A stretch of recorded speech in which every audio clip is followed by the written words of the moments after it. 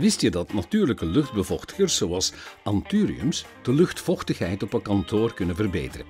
Het zorgt namelijk voor meer concentratie en kan hoofdpijn voorkomen. Reden genoeg om ons te verdiepen in planten voor op kantoor. Hiervoor spreken we met Roos Botelbergen, bloemistendochter met een grote passie voor planten.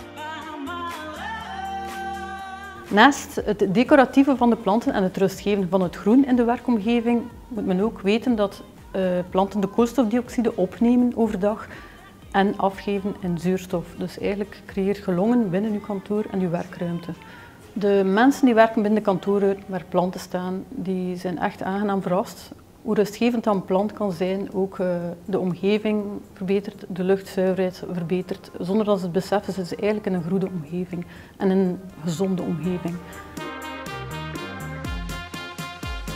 Ik werd gecontacteerd door een architectenkantoor uh, die mij vroeg voor drie groene wanden te plaatsen van 8 meter op 6. Wat eigenlijk wel gigantisch groot is, maar het triggerde mij wel. We hebben gekozen voor planten omdat dat een luchtzuiverende werking heeft. Het is ook vocht creëren, het creëert ook zuurstof. Het is natuurlijk ook leuk om als binnenklimaat uh, ons kantoor op te fleuren. De plantenservice is fantastisch goed. We krijgen op meerdere vlakken zeer goede service en aan de kwaliteit van de planten, de kwaliteit van het onderhoud, de recurrentie van het onderhoud. Ook de prijs is billig, dus uh, absoluut goede service.